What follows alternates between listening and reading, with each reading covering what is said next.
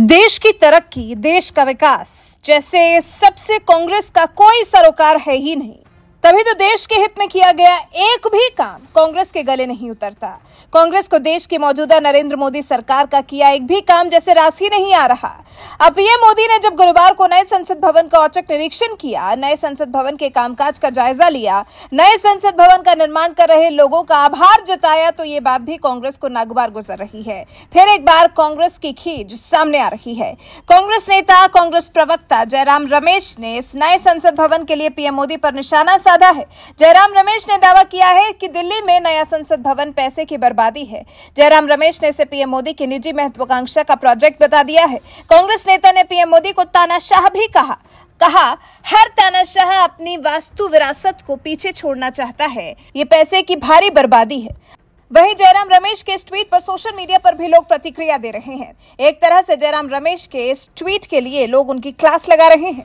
नंदनी नाम की यूज़र ने लिखा, चिंता मत कीजिए, कांग्रेस पार्टी के बहुत कम लोग ही नई संसद तक पहुँच पाएँगे 2024 में। बाकी सब जाकर समाधि पर जाकर रो सकते हैं। स्वयं दीक्षित नाम के यूज़र ने लिखा, देश की आज़ादी के बाद से भारत द्वारा स्वयं से निर्मित ये संसद भवन अत्याधुनिक टेक्नोलॉजी से लेस है। ये गर्व का विषय है। जयराम जी, जो समय के साथ नहीं बदला, समय ने उसे बदल दिया। वैसे भी 2024 के परिणाम आने के कांग्रेस दूरबीन से ढूँढने पर भी दिखाई नहीं देगी। आकाश अग्रवाल नाम के यूज़र ने लिखा।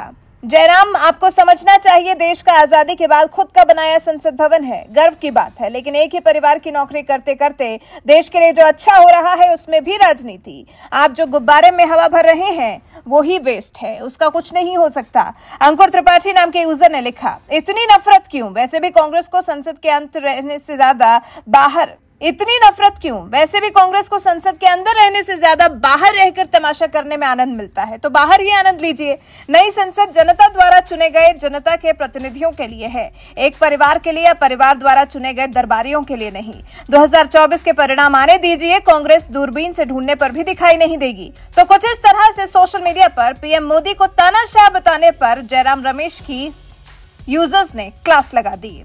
दरअसल कांग्रेस को शुरू से ही ये प्रोजेक्ट समझ में नहीं आ रहा है। कांग्रेस पार्टी के नेता और सांसद संसद के नए भवन का निर्माण और सेंट्रल विस्टा प्रोजेक्ट की घोषणा के समय से ही इसकी आलोचना कर रहे हैं। पहले कांग्रेस नेता रणदीप सुरजेवाला ने भी ट्वीट किया था। उन्होंने लिखा था, मास्टर मोदी जी, संसद पत्थर से बनी इमारत नहीं।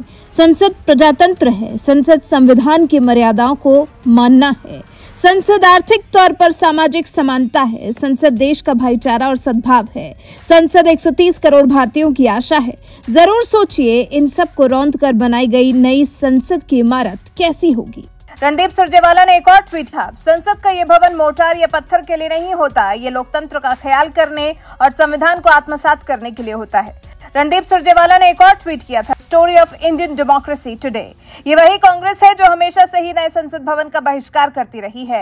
आज भी जब पीएम मोदी के औचक निरीक्षण की वजह से नए संसद भवन की चर्चा उठी तो फिर कांग्रेस एक बार फिर से केंद्र की नरेंद्र मोदी सरकार पर हमलावर हो गई। वैसे कांग्रेस की नए संसद भवन के विरोध में मुखर हुई इस आवाज़ पर आपका क्या कुछ कहना है? अपनी राय हमें कमेंट कर ज़रूर बताएँ।